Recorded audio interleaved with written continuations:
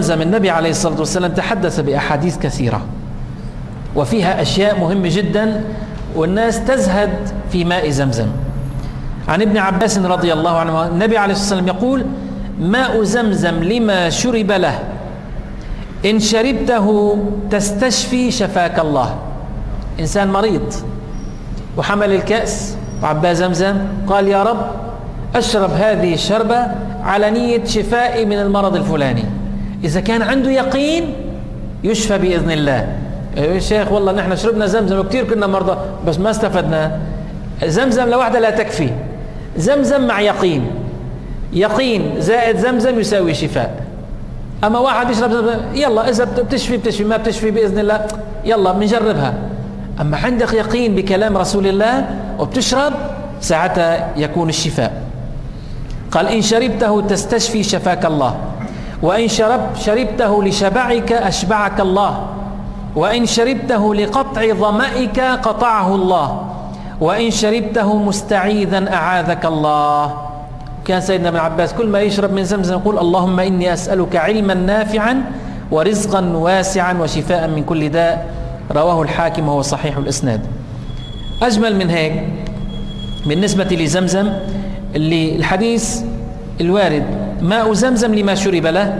ماء زمزم طعام طعم وشفاء سقم.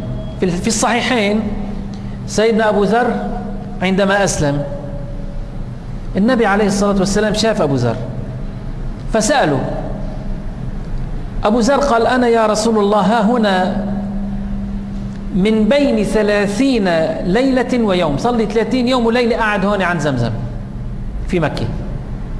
قال وما كان أو ومن كان يطعمك؟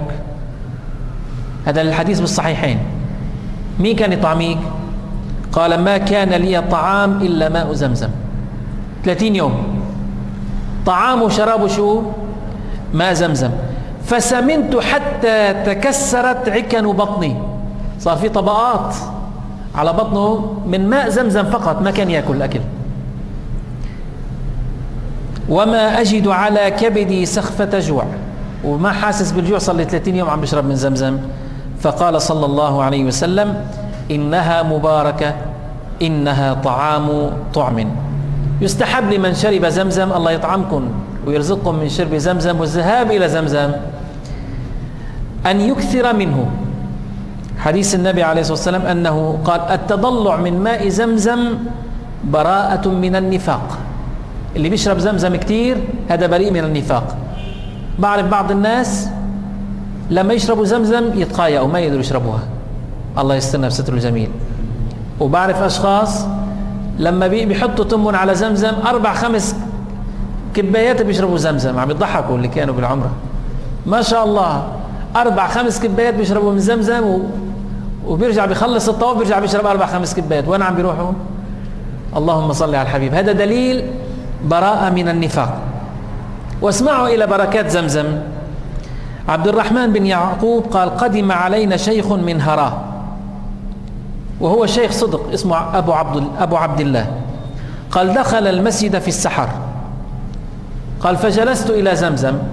قبل الفجر دخلت قعدت عند زمزم. قال فإذا شيخ دخل من باب زمزم وقد سدل ثوبه على وجهه. حاطط مثل حطاطة مغطي مشان ما حدا يشوف وجهه. فأتى البئر فنزع بالدلو فشرب.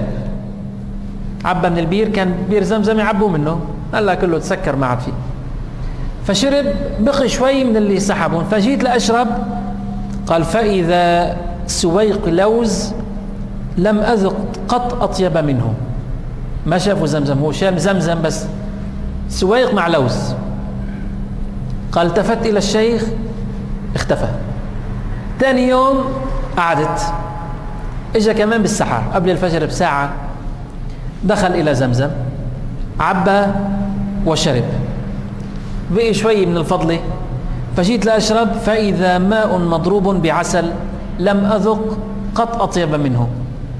امبارح سويق مع لوز واليوم شراب اللوز واليوم سويق مع عسل. ماء وعسل.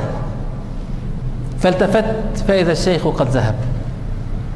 ثالث يوم قصدت إنه اجلس وانتظر فإذا الشيخ قد دخل من باب زمزم.